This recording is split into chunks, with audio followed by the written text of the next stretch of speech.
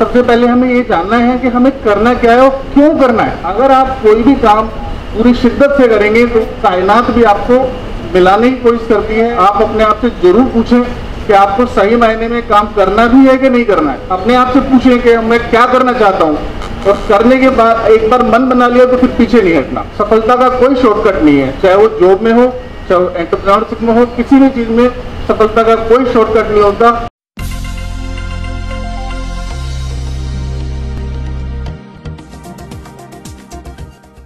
आज ये मुझे अपॉर्चुनिटी मिली है और ये अपॉर्चुनिटी मुझे एनएसआईसी की तरफ़ से मिली। कल मुझे कॉल आया था कि आपको यहाँ आना है और अपने बारे में अपना जो एक्सपीरियंस है उसको साझा करना है। मैं 2009 में एक ईडीपी प्रोग्राम होता है एंटरप्रेन्योर डेवलपमेंट प्रोग्राम मैंने वो अटेंड किया था और उसके बाद मतलब हमें ये मालूम चला कि हम एक्चुअल में क्या करना चाहिए हमें और कैसे करना चाहिए। मेरा व्यक्तिगत राय ये है कि सबसे पहले हमें ये जानना है कि हमें करना क्या है और क्यों करना है। अगर हम बिज़नेस करने जा रहे हैं, हम जॉब करते हैं। जॉब करने के लिए क्या करते हैं? तैयारी करते हैं। तैयारी करने के लिए हम 100 परसेंट अपना देते हैं, लेकिन अगर हम बिज़नेस करने के लिए जाते हैं तो हम अपना 100 परसेंट नहीं देते। अगर ऐसा नहीं है तो आप अपने आप से ये क्वेश्चन ज़रूर करें कि हमने अपना 100 परसेंट दिया है? आप एक जनरेशन को बदलना चाह रहे हैं। आप एक जनरेशन को बदलना चाह रहे हैं। जैसे सपोज़ मैं आज एक बिज़नेस कर रहा हूँ तो मैं एज इट इज़ ये बिज़नेस अपने नेक्स्ट जनरेशन को दे के जाऊँगा। अब अगर इतनी मेहनत मतलब इसमें आप सोचिए कि अगर ये बिज़नेस पास ऑन करना है नेक्स्ट जनरेशन के लिए और मेरी लग्जरी लाइफ के लिए मुझे ये सब चीज़ें करना पड़ रहा है तो कितनी मेहनत करनी पड़ेगी?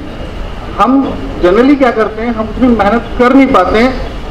थोड़ा सा भी प्रॉब्लम आता है तो हम फ्रस्ट्रेट हो जाते हैं और मतलब अपने आप को ये सोचने लगते हैं कि ये मैं नहीं कर पाऊँगा। बल्कि ऐसा नहीं है। अगर आप कोई भी काम पूरी शिद्दत से करेंगे तो कायनात भी आपको मिलाने की कोशिश करती है, ऐसे लोगों से जो आपकी मदद करते हैं। लाइक एनएसआईसी हो गया या एमएसएमई हो गया, ये लोग बड़े कोऑपरेटिव हैं।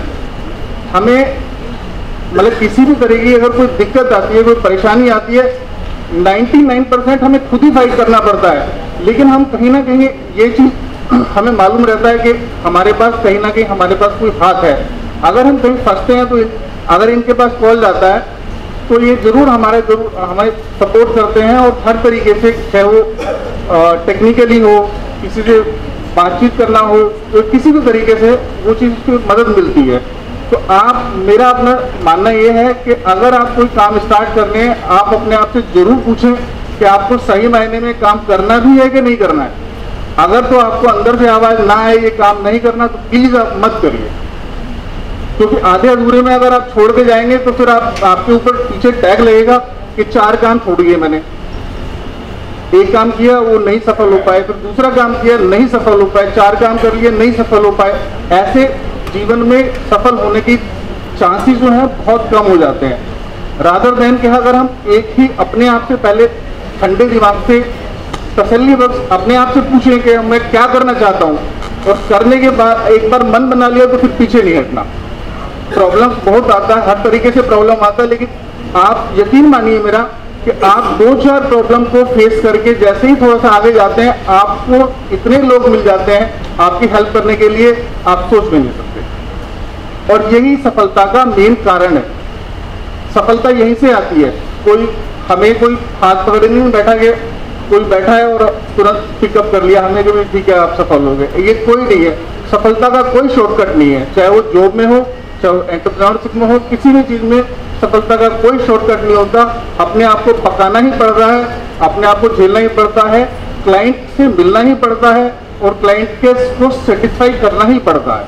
ये सब चीज़ें करने के बाद ही हम थोड़ा थोड़ा थोड़ा थोड़ा थोड़ा थोड़ा आगे बढ़ते हैं और जैसे जैसे आगे बढ़ते रहते हैं, एक एक अमाउंट में हमारे पॉकेट में पैसा आने लगता है तो हमारे कॉन्फिडेंस आने लगता है कि हाँ ठीक है, ये चीज़ें हम कर सकते हैं। और धीरे धीरे धीरे धीरे साल दर साल जैसे आगे बढ़ते हैं तो ये चीज़ें कॉन्फिडेंस बूस्टअप होता रहता है। और एक समय ऐसा होता है सब आदमी यहाँ पे खड़ा होकर भाषण देता है।